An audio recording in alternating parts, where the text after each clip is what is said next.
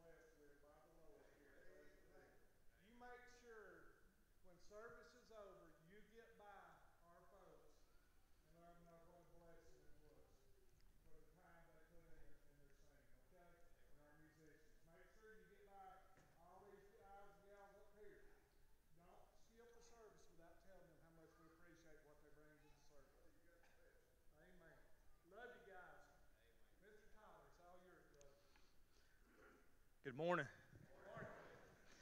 If you will, turn with me to 1 John 4.19. 1 John 4.19.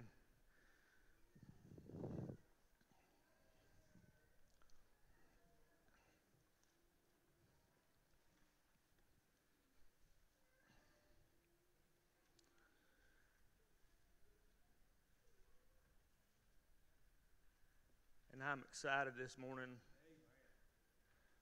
excited to be here. I'm excited to see Evan, Georgiana, and Everly. It's been a been a sweet morning. I've been missing them. 1 John 4:19. If you will stand with me.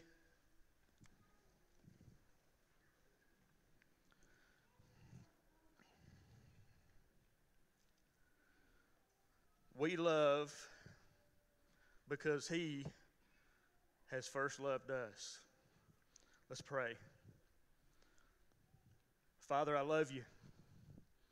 I thank you and I praise you for your good. And I am so not. Pray that you'd forgive me, Father. I'm a sinner take me out of your way this morning and use me as you will. Fill our hearts this morning with your truth and change us by them. I pray that you bless Evan and Georgiana and Everly as they go back to Birmingham. I pray, Father, that your hand would be upon them and that you would bless them in the perfect way that you know how. In the name of Jesus Christ, my Savior, my Lord, and my King, I pray it. Amen.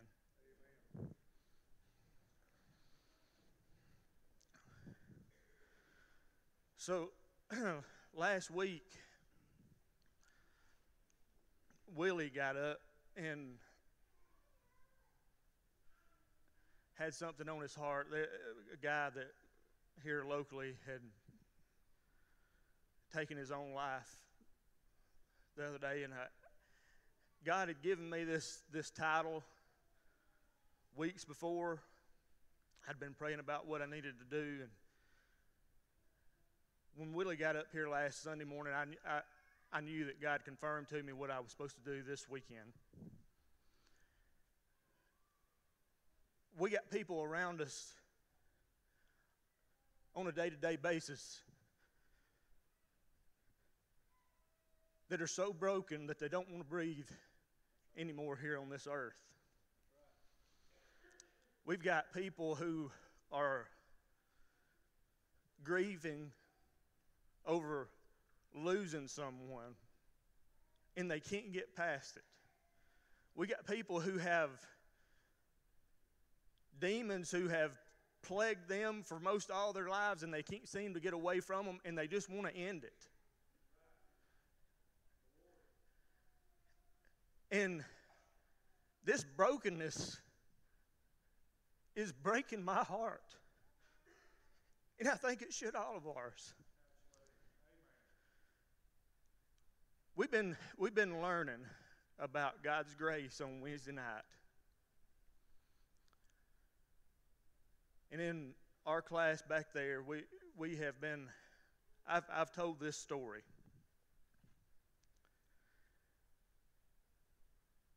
Some of you in here may have heard it before.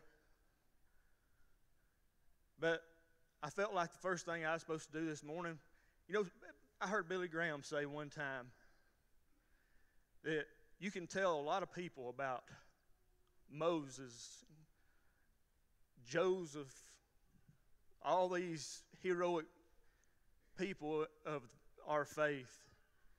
But if you really want to if you really want to get to someone and really tell the story of what Jesus can do, tell them what Jesus did for you. So I'm going to tell you a little bit of my testimony this morning just to, just to start off. I, w- I was raised up in church. My, my mom and dad made sure that I was in church. And I just, as I got older, I really didn't care about it. I really, I was there, but I wasn't there. And I relied more on people around me than I ever searched out for a relationship with God. My mom was was me and my dad were best friends, and he was an awesome dad. My mom, she was my go-to. She was she was just strong no matter what. Anything that you had going on in your life, you could go to her and she could make it seem okay in just a little bit. I mean, it was just a special gift that she had. And when my life broke, is when I lost my mom, when she went on to heaven. And I didn't know what to do. The, the crutch that I had was gone. And I sp- started spiraling, and I went to a really, really dark place. I was on the road traveling by myself all the time then, and I was, I was drunk all the time. I was not a good husband. I was not a good dad. Addie was small. And uh, in a hotel room by myself in St. Louis, Missouri one night. the, I'm a chicken is the only reason that I'm still here. Because if I could have figured out any way to have killed myself in that hotel room that night without suffering any at all, I would have done it. That's where I was. I, I didn't see any way out of the hole that I was in. I didn't know what to do. But I knew all in my heart I knew I had to get I had to get back home. I had to get off the road by myself and I had to get back home. And about a week later, a guy called me and he knew I used to be a purchasing agent in a mobile home business and he offered me a job and I took a $50,000 a year pay cut and came off the road and went and took that job. And when I got home, I don't know, I don't know about y'all, but when you know that you need to come off the road and the next week you have opportunity to come off the road, I, I knew something special was happening in my life to give me a chance. And when I come home, I didn't really know what to do because we wasn't going to church at the time, but I started reading my Bible. And I started praying. And I felt so bad over the way I had been living my life that I couldn't get past it. From the time I got up in the morning to the time I went to bed at night, I was crying and praying on and off all day long. I cried all the way to work and prayed.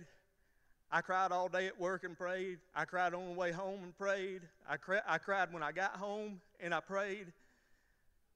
And we decided to go to a church, and we ended up joining that church. And uh, I've been praying, God, just give me, show me, do something to point me in the right direction. And a guy at that church came up and asked me about if I'd be a part of a disciple group, and I said, I don't even have to pray about this. I've already been praying about it. And so I was in. And not long after I, after I started in that group, I, I realized what I had been missing my whole life.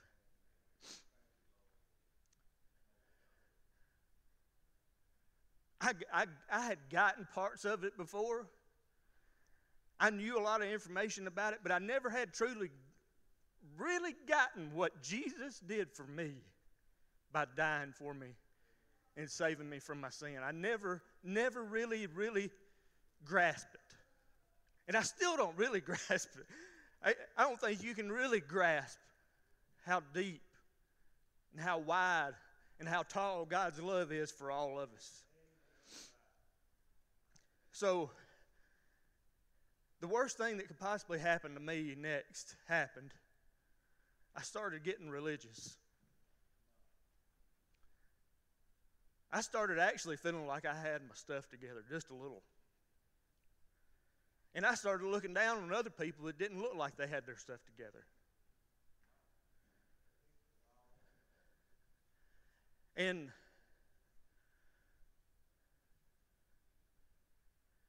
we were asked, me and my wife, we were asked to be youth directors. And we prayed about it, and that was what we felt like we were supposed to do. And about three months after I, after I, after, after we took that, I went into the deepest depression you have ever seen anybody go into, and I had no clue what, what was going on. It was out of the blue. I would come home every day and just lay there and cry, and I couldn't even tell you what I was crying about. I, I was just depressed, I, and I could not get over it. I could not get past it. And they was running. T- I told I told Faith. I said, "You just don't be one way one day, and then wake up the next and be a different way, and something not be going on. I don't know what's going on." And so I started going to the doctor, and they started running tests on me, and they, and they figured out that my testosterone had bottomed out at 30 something years old. I don't even know how, how old I was at the time, but in the middle of that, and them trying to get me, my levels back straight, I about went crazy. It, nothing was happening fast. it was it was very slow. And I I remember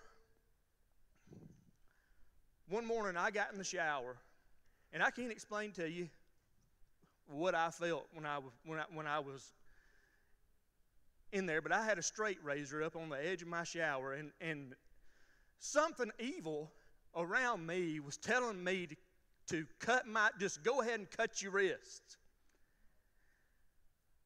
And the only thing I can explain to you is that God said, Get out.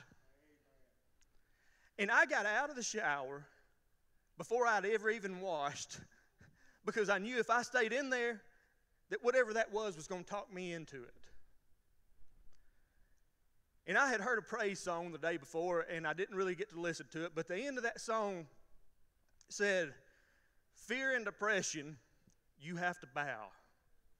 All these things that demand my attention, you have to bow to Jesus. And I was on my way to work, and I had just about gotten to CJ store on, on uh, 24 in Belgreen. And I, there's, there's crying, and then there's crying. It, with everything inside of me, with every bit of effort, energy inside of me, I was crying and I was singing that song as loud as I possibly could. And all of a sudden, my whole body went numb. And I got scared. I didn't know what, what, what had just happened. And I, I, I, have heard of a stroke, never heard of a full body stroke before. I didn't know. so I said, Well, there's this somebody at work I can ask. So when I got to work, I said, What do you. I told them about what just happened. They, they said, You know what Jesus would have done if he'd have been in the truck with you and saw you in that condition? He would have hugged you. And he would have told you that everything was going to be all right. And he said, What you got this morning was a Holy Spirit hug. And I even tried to worry about the stuff that I was worrying about before on purpose, and I couldn't go back there. For that day, that morning, I could not go, I could not worry about the things that I was worried about before. And it was just a, there for a while, it was just a claw. Like I just, it was just everything I, I could muster up just to get up and get a shower and go to work in the morning. I was so depressed and so down it was taking everything out of me just to go to work. And we had the youth, and we had three classes to teach, three classes to get ready for. You got work, you got stuff going on at home, you got kids to take care of. My dad's sick with cancer. and everything inside of me a lot of times was telling me just give up. Everything. And that Holy Spirit, every single time, would say, just one more step. Just one more step. Just move forward one more step.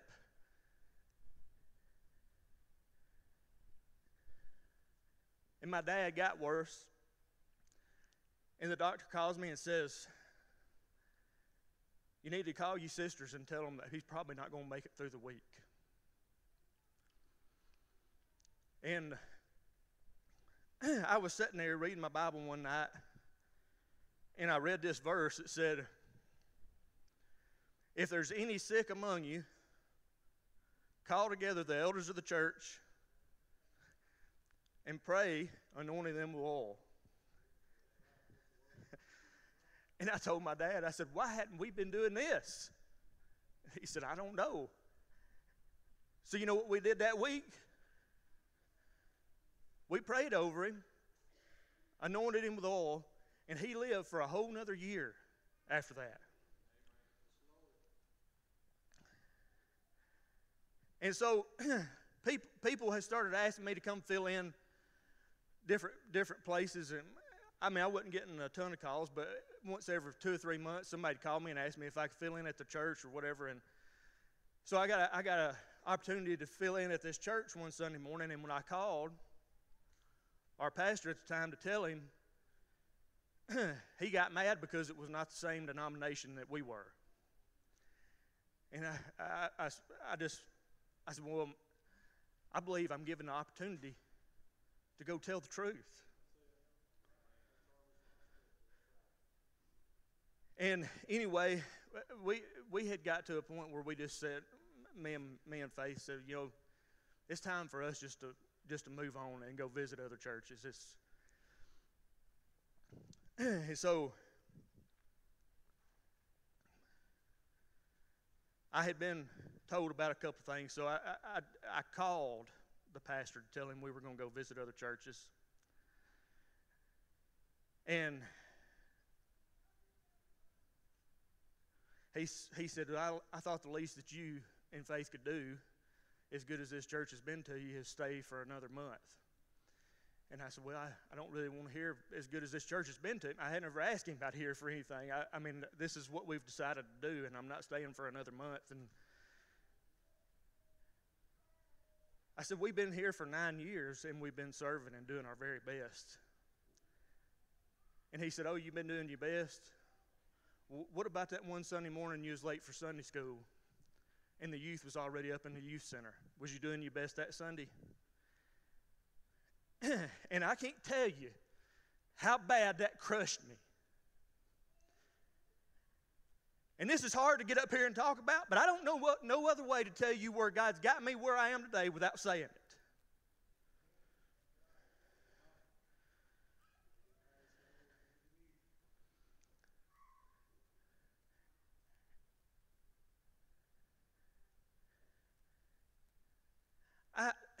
When I when I when I got past that phone call,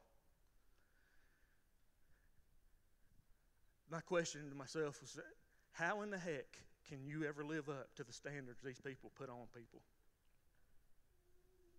I can't do it. I can't.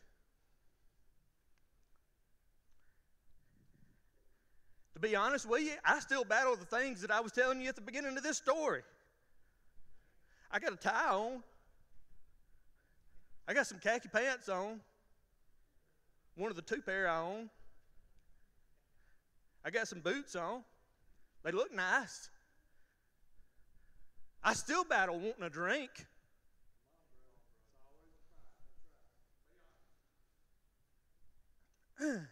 I still battle wanting to use unchristian words when I lose my temper because I want somebody else to, to do something that they didn't really want to do.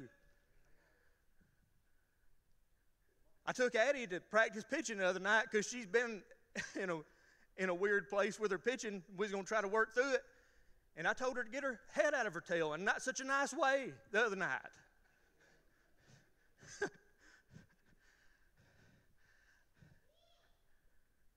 I'm, I lose my mind in traffic.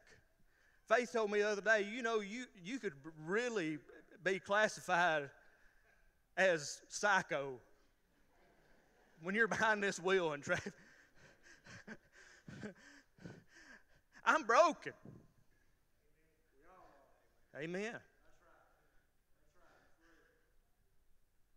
But if we're going to be honest, we all are. We're all broken. And even though your battle may be different than mine, it's a battle nonetheless, and you're broken nonetheless. The question still remains how can I live up to the impossible standards that church people will put on people today?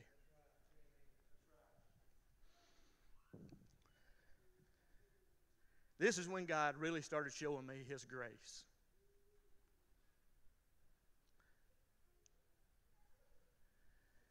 God started showing me who He really is. Jesus started saying, That's not who I am. Who you have in your head And what I'm going to do to you if you mess up is not who I am. This is who I am. And I, and I, I started to see it. And Jesus was showing me.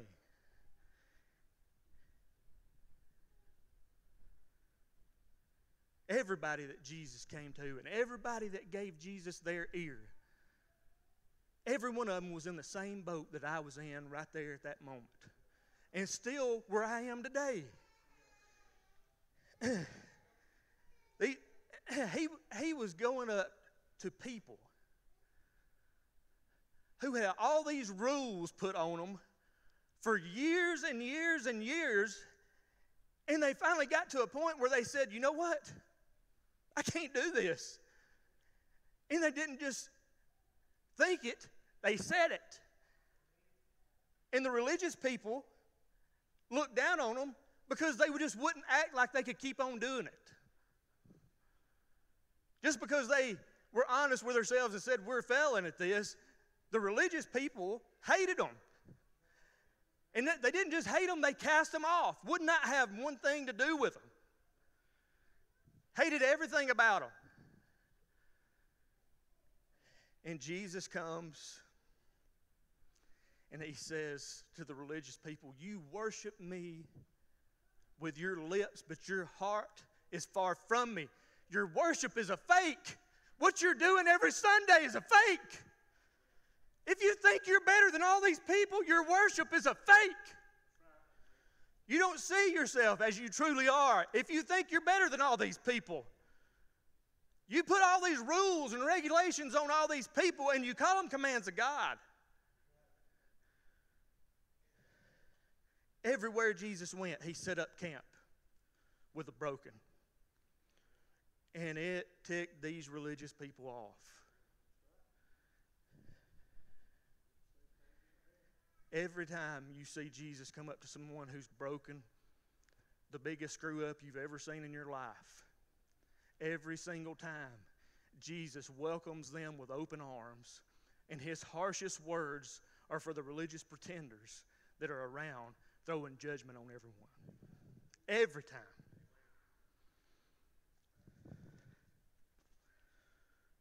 Jesus said, You crush people you religious people, you crush people with these religious rules.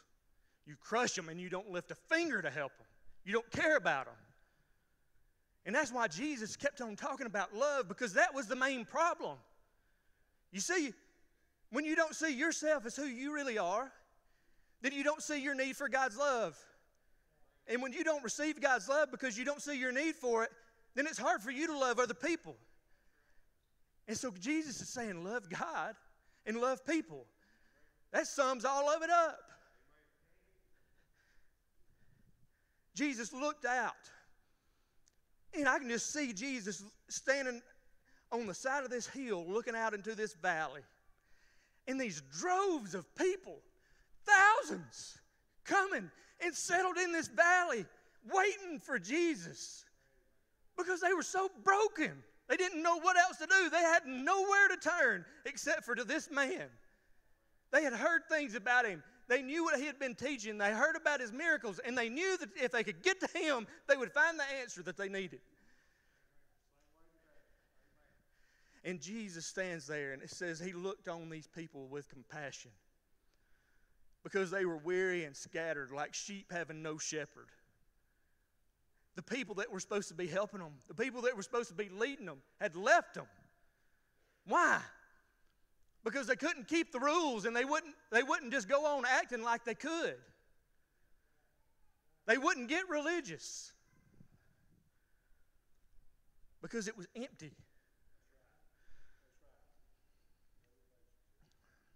Jesus told them, Come to me. He said, These people have let you down. These people that you were supposed to be able to depend on have let you down. Come to me. All of you who are weary and heavy with burden that they have put on you. And then take my yoke upon you and learn from me. And here's the main difference between me and them I'm gentle and I'm humble at heart. I have every right to think I'm better than you, but I don't. Then he said, You'll find rest for your soul right here with me. All this worry, all this trying to keep up with all the working, all this is done when you come right here at my feet.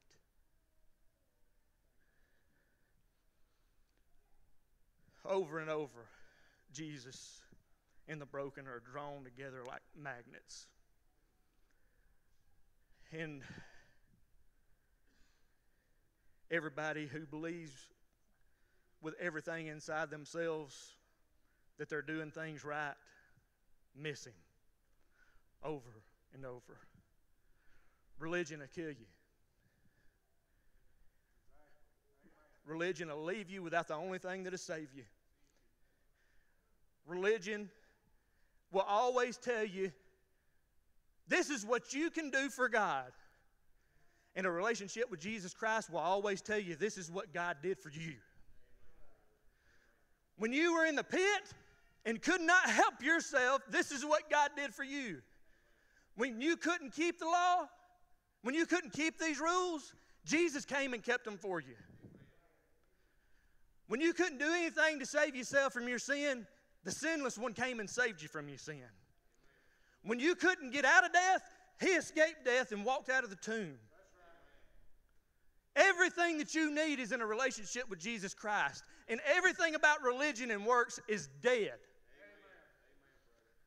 It'll kill you.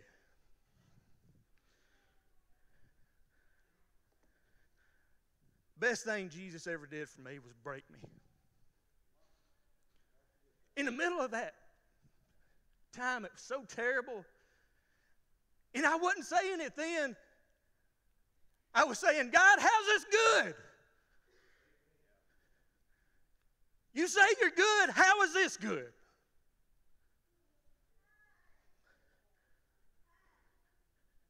But the best thing he ever did was broke me because it showed me how worthless these things were that people were using to sum up what I was worth.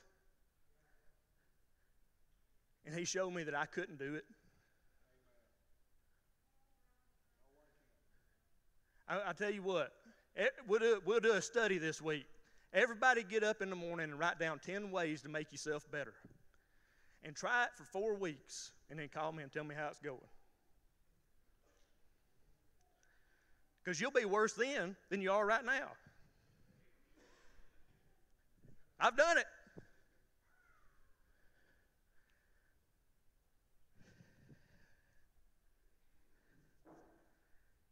What he, what he showed me in my breaking point was that I not, I not only had to rely on him for my salvation, I, I not only had to rely on him for saving me from my sin, but every day after it, one step at a time, I can't do one thing without him. He showed me that. And I never would have saw it if I had not been broken. We want to be in comfortable positions. We want to stay where we're comfortable. But we never learn anything worth anything unless we're in the mess and the muck. We never learn anything worth anything in the comfortable spot.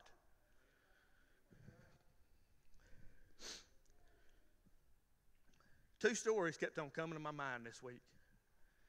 And I told Chris I've had this title for six weeks. And that's about all I've had. I didn't know what to do. So, the first story that kept on coming to my mind is a woman caught in adultery. I just, I just love Jesus is the only one that could, that could just, he could have stepped down and wiped out every sinner on earth and would have had every right to. And he didn't. And these people bring this woman into town and throw her down at Jesus' feet. And they say, she's been caught in the act of adultery. Law of Moses says we stone such a woman. But, you know, there also had to be two witnesses. So, how long did they creep through the window trying to find out this was going on and catch them? And then I started thinking, well, where's the guy? Because it takes two. Here's what I think happened I think that they had a guy that they said, We won't bring you in, but we're going to use you to get this woman caught because we need her to trip up Jesus, the Messiah, is what they were saying.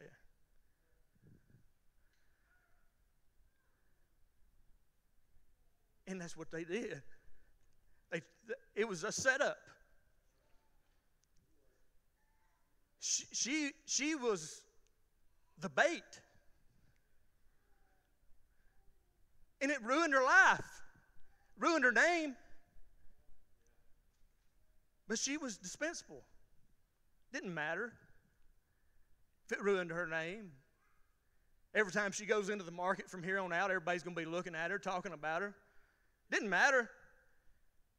She, she was just a pawn in their game to trip up the Nazarene. And they throw her down at Jesus' feet. And he just stoops down and starts writing in the sand. And there, this woman is, is scared to even look up because she knows she's not going to be met with kindness. And all she can see is these fingertips grasping this rock so hard that they've turned white. And Jesus says, Whoever has no sin can cast the first stone at her. And the older guys knew how big of a screw up they were. They was first ones to drop their rocks. Younger guys was a little bit more cocky it took them a little bit longer to think of something they would consider as bad, and then they dropped their rock. And she is face down on her knees on the ground. Tears streaming down her face.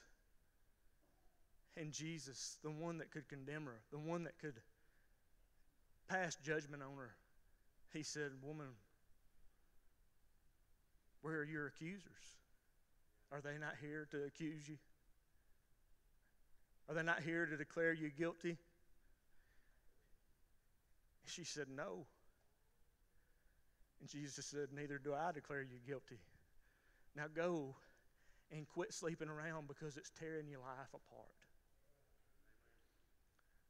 Jesus was upset about the sin because Someone who's perfect can't be okay with it. But he was he was more torn up about how it was affecting her life because he she was the one that he really loved. That's where his love was pointed towards was the woman.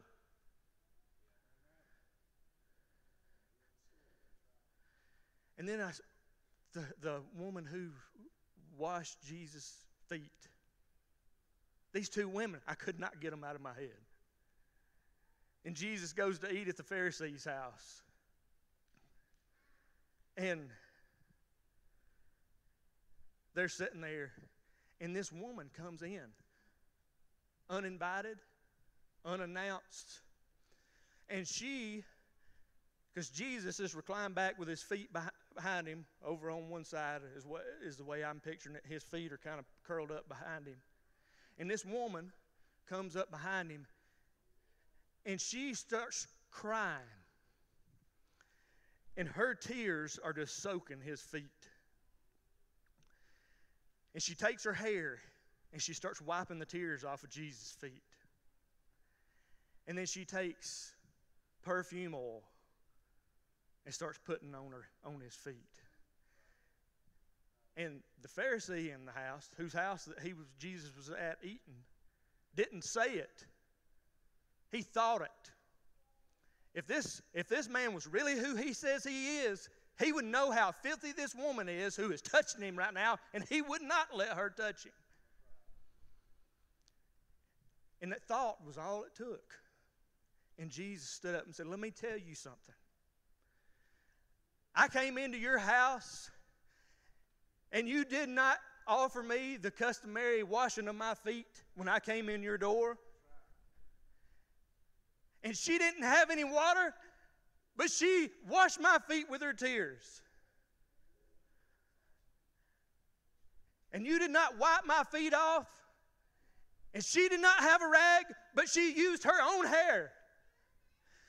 And you did not offer me the customary anointing my head with oil, but she has anointed my feet with perfume oil since I got here and kissed my feet. And he said, Let me, let me ask you. They, they was two men who had borrowed money from this guy. One of them 500 and the other 50. And when they neither one could repay him, he said, Your debt has been forgiven. Now, which one do you think was the most thankful for being forgiven for that debt? And he said, I suppose the one that had the greater debt. And he said, You're right. You're right. The one who had the greater debt. He made the Pharisee admit it. The one who had the greater debt. Her sins, which are many, have been forgiven. So she loves me a whole lot. You don't think you're doing anything wrong, so you don't know anything about love.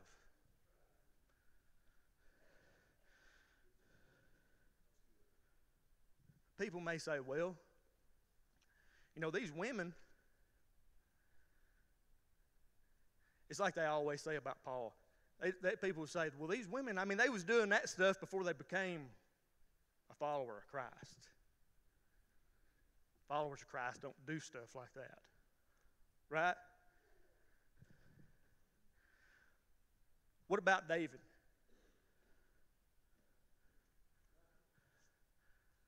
What would we do to a deacon here today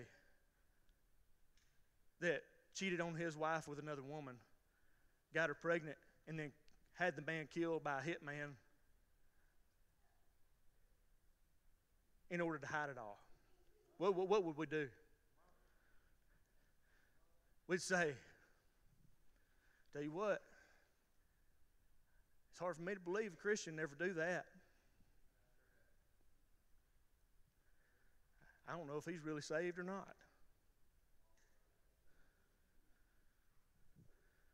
Bible says David's man after God's own heart. And this is why. David was a God seeker.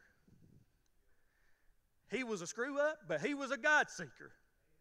And he never made an excuse for his mess ups. He always owned up. When he took that census and, and the whole nation was dying right in front of his eyes, he said, God, don't punish all these people for what I did. Put it on me. He knew who he was, and he knew who God was. And he knew the only thing that he had worth anything was God. And that never changed, no matter how bad he messed up. What about Peter? He was in till he wasn't, right? I mean, he was in till that crowd grew that come to get Jesus. And the first thing he saw was a right hook pummel Jesus head over feet. And he's like, See y'all. Well, you're one of them. We seen you with Jesus. Nope. I don't know him.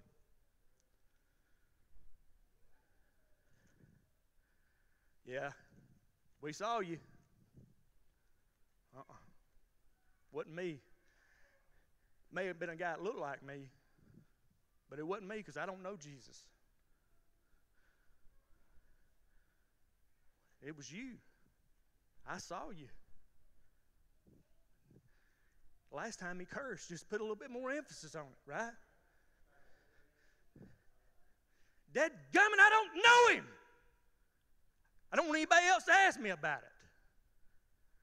I have a temper, so I can kind of see where he was coming from there. I, that's probably exactly what he said there.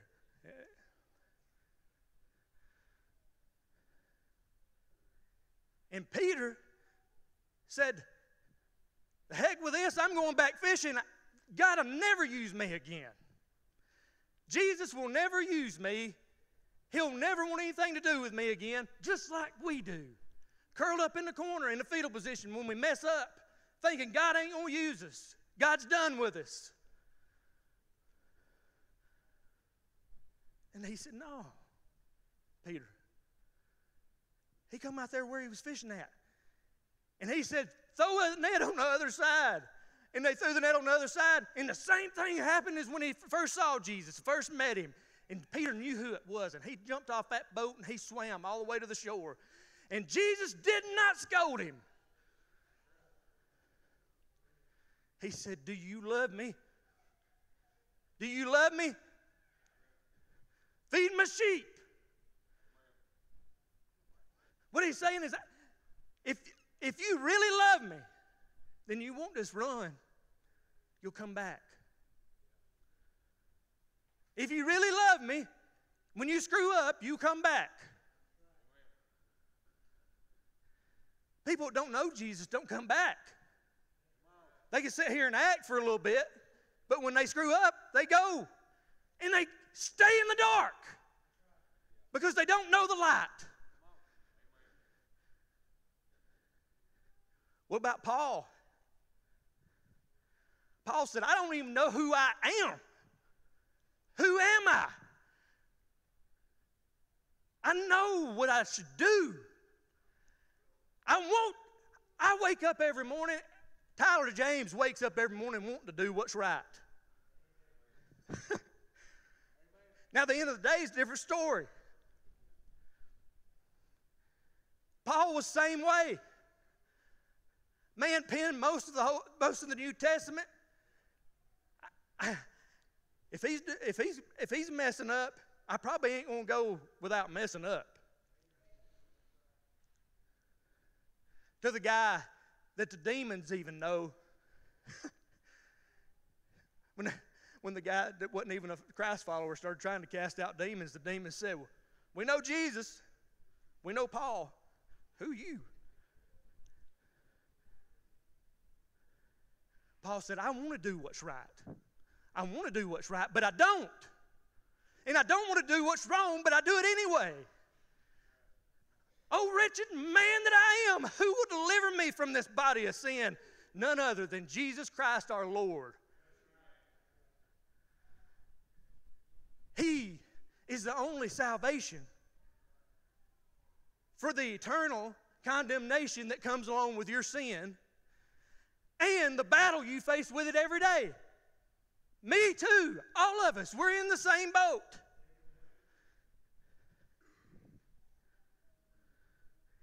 And everybody says they, everybody has an idea of what Paul's thorn in the flesh was. I believe every waking moment he saw Stephen's face. I believe every follower of Christ that he tortured up to the point of the road to Damascus where Jesus came to him, I believe those, those thoughts of those people haunted his mind. Just like our failures haunt our mind and make it where we can't move forward. And I think it was like that for Paul. Paul says, I don't even feel like I can get up here and teach these people anything. Take this away from me. That's the way I felt getting up here this morning. God, I can't do this. You know, do you know how big of a failure I am? God said, Yeah, I know. I know better than anybody. Paul said, Take it from me. Take it from me. Take it from me. And Jesus said, My grace is sufficient for you. I'm using that to keep you right where I want you because you're so smart and you, you, you have learned so much and you walk so closely with me, you'd get puffed up if I did not keep you right there.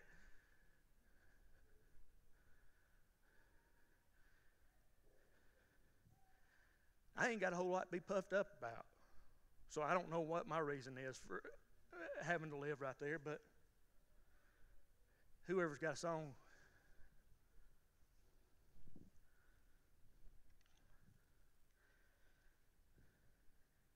My grace is sufficient for you. My grace is sufficient for you. Is that right there is the key. Could it be that the woman that was washing his feet had found the real answer? Could it be that loving God because He first loved us is the real way to get just a little bit better while we're here? Is it that we see the grace where He took what we deserved and gave us what we did not? When we see it and we see what we have freedom from, and we see the love of God encircle around us and living in that spot, is that how we get better? Just a little bit better while we're here? Every time I seek God, every time I focus on His love for me, I get just a little bit better. I didn't, I didn't wake up and read a self help book. I didn't go by a list of rules that somebody told me to go by. Somebody didn't tell me the amount of scripture to read every day. I, I read what God put on my heart. I followed what He told me through His Holy Spirit, through the Bible. I prayed when I needed to pray. When God put it on my heart to speak to Him and talk to Him, I did it. And I did everything because me and him were in communication with each other, and I got just a little bit better. And I didn't even realize it. I didn't even realize I was getting just a little bit better. But faith would say, Well, you, you handled that a whole lot better. You didn't talk ugly to that guy at the red light like you did last week. You, you got it. But I didn't realize I was getting better because you know why? If I'd realized I was getting a little bit better, I'd got puffed up about it and started making, uh, trying to make all you better like I got better. Could it be that the woman at Jesus' feet had the real answer? To love God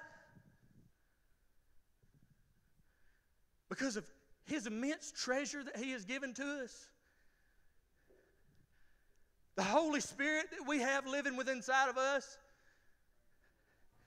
That is one of the most beautiful scriptures I've ever read is that that Holy Spirit that speaks to you and guides you and directs you and me every single day is a down payment, a guarantee that God's going to follow through on everything that He's promised. How amazing is it? We sing about God's grace. We sung Amazing Grace this morning. How amazing is it to us? If you're broken, which you are, and you know it, then you'll see how amazing it is. Because you'll know when I leave here on Sunday morning after Daryl or Chris has preached, it takes me an hour to get over it because I sit there and think I ain't measuring up to it. I'm falling short of everything that he, that he laid out here today.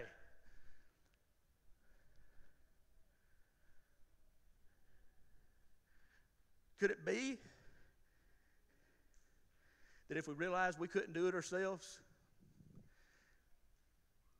that we believe when Jesus said, I am the vine, you are the branches. If you abide in me and I abide in you, you'll bring forth much fruit, for without me you can do nothing. If we believe that, and we relied on the only one that can do it, if we believed it when Jesus said, You all can't do the works of God, the only work of God you can do is believe on the one He sent. If we believed it, would it change the way we are? Would it change the way we minister to people? Would it change the way we treat people and love people?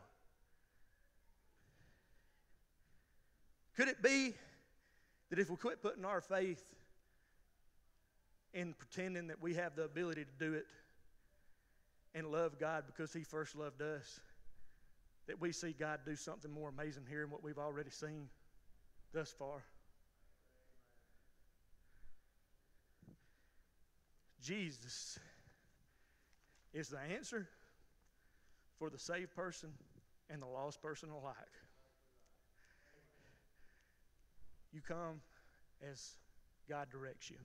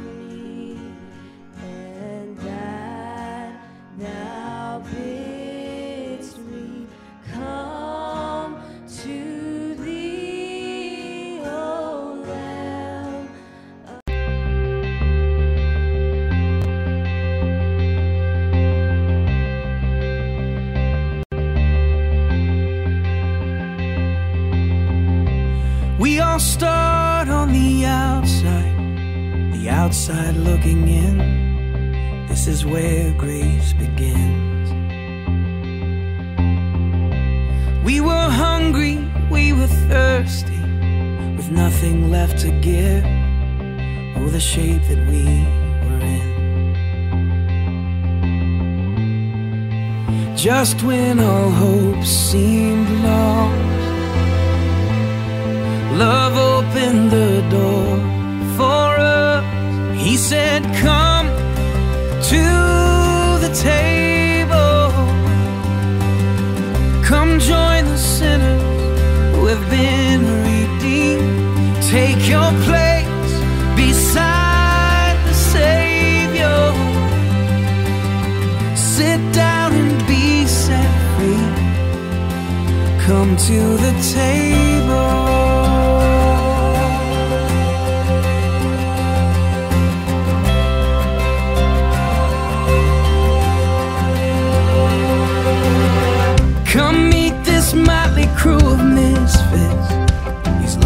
And these thieves. There's no